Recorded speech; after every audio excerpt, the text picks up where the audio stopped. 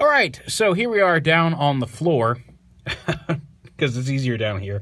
I don't want them rolling off the edge of the desk to review the Sphero BB-8. Um, there's very small amount of Force Awakens stuff that I wanted to get. Basically, it was this and the Poe's X-wing Lego set, uh, which I also quite enjoy. Um, I, I, haven't decided to even try to review that one yet because like reviewing a Lego set after you've built it is just kind of like here's a Lego set. I built it.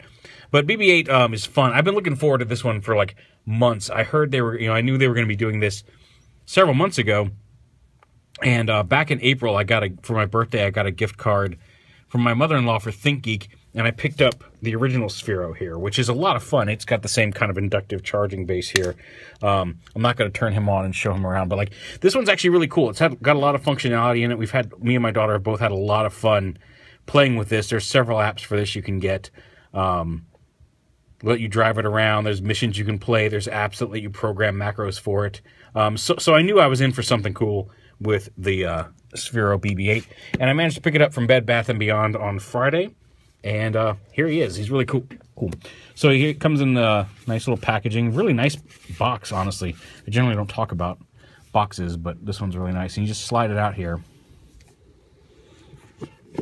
And then inside, you just lift this up. Lift up the, uh, pull, pull out this little inner cardboard flap that basically tells you how to do it. And then inside is BB-8 himself. He comes with a little plastic tray to kind of protect him during shipment, his charging base, and then the little USB cable down here. So you just pop this open, go ahead and pull his base out. Um, and then he comes out. His head will sometimes stay behind in the package. So he goes on his charging base, you pull his head out. And his head's just a magnet with a couple little wheels to allow it to roll around on the body. So you sit him down here in his charging base. See if we can't get this zoomed in a little better. Again, it's a little awkward. I haven't shot on the floor before. I'm laying down on the floor trying to shoot this. And then in the bottom of the package, there's a little uh, box that slides out that contains the USB cable and like a little warranty uh, little warranty guide. There's not any real instructions that come with him. You kind of got to figure it out. He's a little simpler than a Sphero, so it's not that bad. Um, and the, the Sphero, that's the other thing. The, the main app for the Sphero ball, on top of having all the missions, you can change the colors and everything of it. Um, it's narrated by Brent Spiner, um, and there's a whole tutorial on how to mess with it. So you take the USB cable out, and it's just a USB cable. It doesn't have any sort of plug to it. So you will need like your own plug. You can plug it, you can charge it on a computer. If you have like an iPhone or something, you can use the little plug like that. Any USB plug will work. Um, so you just plug it in, plug it into the wall over here, and then the other end of the USB plugs into the base right here. And once that's on, you'll see the little charging light start to blink. Um, he should be fully charged. Whenever you put him on the base, he'll it'll blink a little bit. Um, and when that light turns solid, you'll know he's fully charged. Um, I'm not going to wait for it. I don't know if it has a set time or if it charges for a full three hours every time you stick it on there. It takes about three hours to get a full charge uh, for about an hour's worth of play, which isn't too bad, uh, all things considered. But yeah, that light will, that turn solid when he's ready. There's also a little button I found here on the base, uh, right here on the side of the base here. Then when you push it, it'll kind of turn him on and make him look around. So you'll kind of blink him up he'll light up a little bit. And, uh, oh, the first time I did that, his head started bobbling around. Maybe it's just because I don't have the app on. Now, he's controlled by an app. Oh, there we go. Now he's going to look around a little bit. So he kind of wakes up and he just kind of looks around while he's charging, which is kind of cool. he's nodding and stuff. Uh, normally, I would use my smartphone, and I find the smart my, my, my phone is easier to hold when controlling him. But since I'm using that to shoot the video, um, I've got the app loaded up here on my... Uh... All right, so we had a little bit of fun trying to get him to wake up. But basically, you sit him on the charge base, um, and then... Uh, so I'm not entirely sure what that button's done, because he didn't really want to go back to sleep until something connected with him uh, before. So we'll go ahead and take him off his charging base and just kind of set him down there. And then we'll open the BB-8 app here.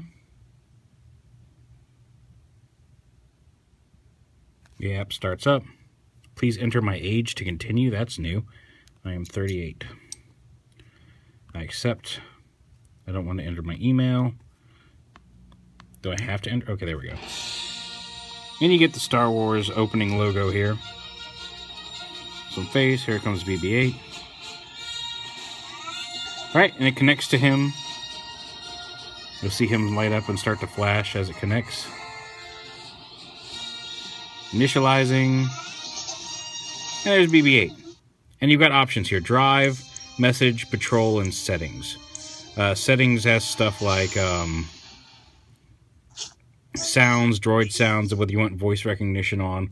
We'll go ahead and turn that on. Oh, I don't want the, I don't want the, okay. Continue. Okay, well, we'll just turn this off. Continue. Uh, oh, actually, you know what?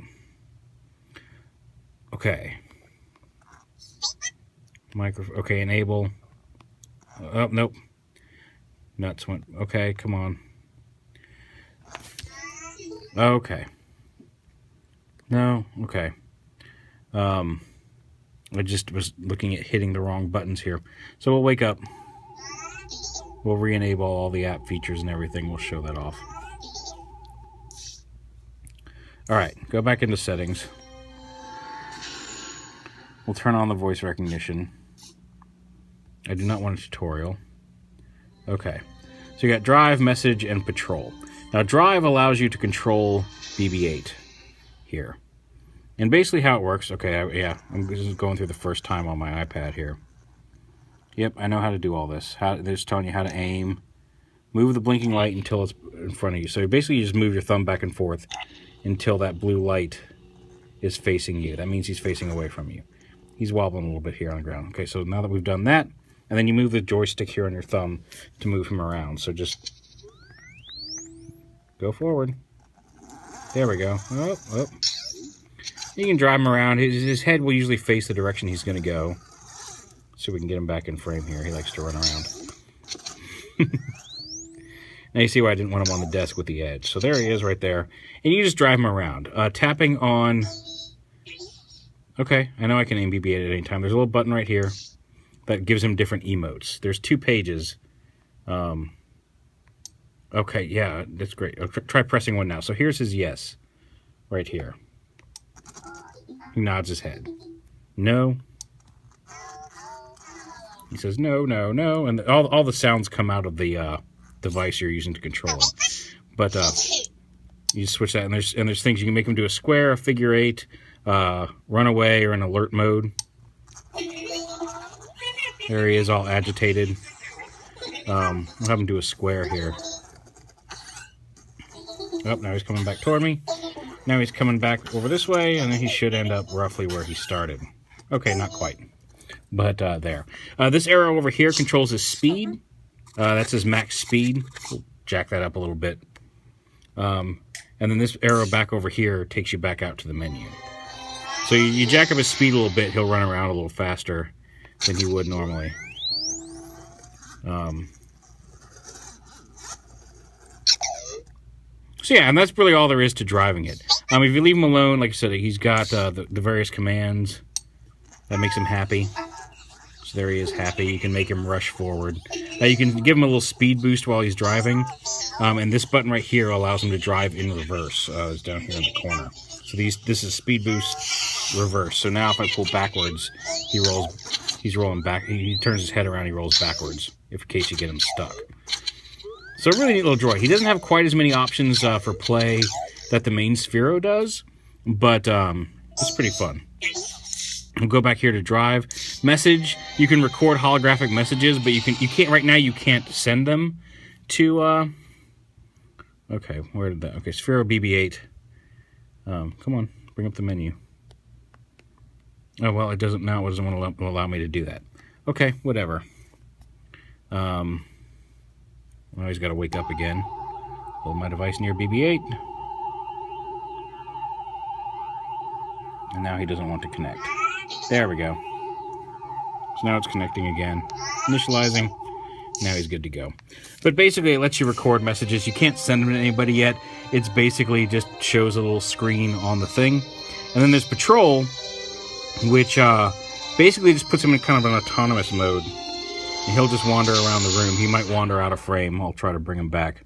But you just hit play to start a patrol, and then you can look at all the various different uh, things like tracking system. It'll tell you where he's rolled to. Um, an event log. He'll, he'll whatever he bumps into something, he'll report either a life form sensor. Or if he bumps into something a couple of times, he'll say it was a ship. Um, things like that. He'll, and he'll do his little emotes. Uh, you can see about his acceleration vector, his gyro balance monitor, how fast he's moving, how fat, how far he's gone, his current temperature. There, there's just a few little options you can swap through. His chronometer, how long he's been on patrol mode, um, how like his speed, how he's been moving, his gyro stabilization, uh, just little things like that that'll uh, move his thing. Where are you? Okay, let's let's go back into drive mode here and see if we can't get him to come back to where he started because he's way over on the other side of my office right now. You coming? Oh no! Oh, okay, I see him. I see him. Come on. Okay, let me let me adjust him. He is way on the way on the other side of the room. Okay, come on. Don't knock your head off. Come on, this way. This way. he just went under the control board here at work. And here he is back in view. Okay, you're spinning around, you silly, silly bean. So yeah, there he is. Um, it's a fun little toy. Like I said, coming from Sphero, I knew it was going to be pretty nifty because um, I've played with the uh, the original, and uh, you see he blinks red when he bumps into something. But yeah, there he is. Um, and again, he's his main body is roughly the same size as the original Sphero. Uh, it's not quite as textured because, again, his head has to roll around. Uh, the one drawback is uh, sometimes if you roll around, if you have pets, um, you will get uh, some hair. You can kind of see he's picked up some dirt rolling around there, but you can clean the wheels. But, um, yeah, his head just attaches magnetically. It'll pop off while he's rolling around in autonomous mode sometimes, but, uh, you know, it's fun. So yeah, it's really neat. The technology inside of it is really cool. Uh, um, and you see he'll kind of emote and mess around when you're not actually actively engaging him even in drive mode. So it's a fun little toy. Like I, it's probably my favorite thing from Force Awakens that's out so far. Um, granted, I only I've only gotten the two things. I've seen all the action figures. I've had I, I found plenty of the stuff that I could buy. Um, but I'm, I'm not going super nuts on merchandise. I don't I don't collect. I like Star Wars. I don't collect a lot of Star Wars things. Um, I've got like the Han and Luke Black Series Stormtrooper figures, and I got some Jawas and the Commander Doom figure, and then, then this and the X-wing. I, I am a big fan of the X-wing. I hope we get a Lego set that is the uh, standard blue and white uh, Resistance colors and that same build as Poe's X-wing. But um, but yeah, I'll, I'll probably get a couple Lego sets action figures. I don't really want to spend money on action figures until I've seen the movie.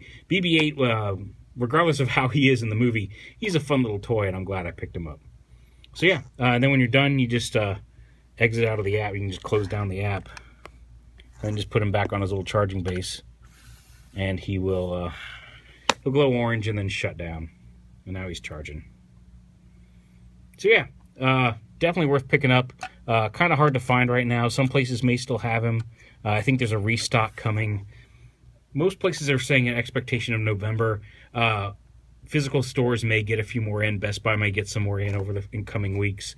Um, Bed Bath and Beyond might as well. I think Brookstone's also carrying it. There's also some smaller retails retailers carrying it, like Hobbytown USA. Um, and you can go to sphero.com slash Star Wars and uh, or starwars.sphero.com um, and find out where all the retailers and the retailers, all the Sphero retail partners are listed and which ones have BB-8 are clearly marked. Each one will say BB-8 available um, if that store will be carrying it. So you might find some retailers uh, that you wouldn't normally think to look at for him and pick him up there. But like definitely worth picking up. It's a fun little droid. Um, and like and like I said, if you're if you're, if you're into robots and fun little things, even if you can't find a BB-8, um, I do recommend the original Sphero. It's a it's a lot of fun. Actually, this is the 2.0 Sphero, but yeah, the um, the main Sphero toy is is is a good good way to enjoy yourself. Like Kira's programmed a couple of little uh, macros that she can make him do. There's a golf game for him. There's all sorts of neat stuff for the main Sphero. And this one should have some more added functionality as time goes on. Uh, the uh, right now that it's a little limited because they only have access to so much information prior to the movie release. But uh, come uh, once the once the movie comes out, they they've built this specifically to be able to add some features to it as uh, as they learn more and, and as time goes on. So there might be some more games, some more interactive elements coming for him uh, down the road. But yeah, fun little Star Wars collectible. Uh, probably the, my, one of my favorite things, Star Wars things I've ever ever had. And it, like I said, it's fun to just set him on patrol and let him wander around and check things out. He, there, there, are times when he seems almost like he's aware of anything. There's no sensors in this. It just kind of it has the prox the, the, you know collision detector, but other than that, like it doesn't have any sort of visual or uh, proximity sensors built into the toy. But uh, even even so, sometimes he will seem very aware of his surroundings. Uh, like my dog walked into the kitchen when I was playing with him the other day and accidentally kicked him, and he went right under a stool and, and kind of hid back there for a minute, and then slowly crept up and stopped right at the edge of where the stool was, and kind of looked both ways, and then came forward some more. Which again, it has no proximity sensors. It was just the random actions of the toy, but it looked like he was hiding and then making sure it was safe before he came out. So uh, even without some of the more interactive uh, sensors and things, uh, very, has a very strong personality in and of itself, which is a lot of fun. So yeah, there's BB-8 from Sphero, and uh, like I said, if you if you can get one, by all means, pick one up. It's a lot. It's a lot of fun. All right, so a couple of things I had to go into settings and fiddle around with to get uh, everything set up to work with him right. So now that I've got the camera and the app and all that, go to messages, and I'll show you how the messaging works. Like, so here's a message that he can display already established. So you tap the message, you line BB-8 up with a reticule, and he should be facing away from the thing, but it'll look like he's may not be far enough back here. Should, there we go. It should look like he's displaying a holographic message. And you can record your own messages. Uh, a lot of people like to say, uh, help me Obi-Wan Kenobi, but it, will make him look like he's displaying a little holographic message. Uh, you can record your own or read the, see the one that's in there. Now, uh, um, that, that, that X-Wing one is built in. Uh, as, like I said, you can't send them to other people yet, so it's basically just recording messages for yourself, really. Um, he also has voice commands. I don't want to go into patrol. Uh, and, and some of them are basic, and they, they may allow for more of those uh, later on. So let me turn on voice commands here, which you do right here. I don't need a tutorial. So if, when you go into the drive menu, you say, okay, BB-8. Hey, BB-8. Huh, it should be giving me... Um, no, not settings. Should be listening. I got the microphone and everything set up and turned on, so uh, maybe maybe I can go through the tutorial. But yes. Okay, BB-8. All right, now you got his attention. Look around. And he'll and he'll kind of roll around and, and to stop him to explore. Okay, BB-8. And he's got, I've got his attention again. Okay, BB-8. It's a trap. And he'll freak out and run and try to hide. Hey, come back here. It says, look at him go, because he ran off. Okay, let's get, let's go to drive. And once, you once you've got that activated, you can do it from the drive menu. Come on. There we go. Let's get him back in frame here. Come back here, you. Okay, BB-8. How are you doing? What do you think? Okay, BB-8. Oh, usually, usually um, on my phone it will pick that up and it'll start. Uh, maybe it's because I didn't finish the tutorial. Yes. Okay. Okay, BB-8. Okay, BB-8. Okay, BB-8. Huh, am I covering the mic? Okay, BB-8. Okay, BB-8. Hmm. Okay, BB-8. It was just working. I don't know why it's not registering that. But there's different commands you can give him. Like, it's a trap, he'll run away. Um, how do you feel? He'll react with one of his emotes. Um, and, and, and do random things like that. Um, I'm trying to think. You can say look around or go explore, and he'll go running around uh, doing this stuff. Okay, BB-8. Okay, BB-8. Okay, well, it's acting up, but that, that's how the voice command works. You kind of saw it a little bit. But yeah, uh, so yeah, I just want to make sure I went back now that I got the camera and microphone set up to show off those uh, those features uh, of the toy. But yeah, neat little toy. Definitely worth picking up. Uh, the Sphero BB-8.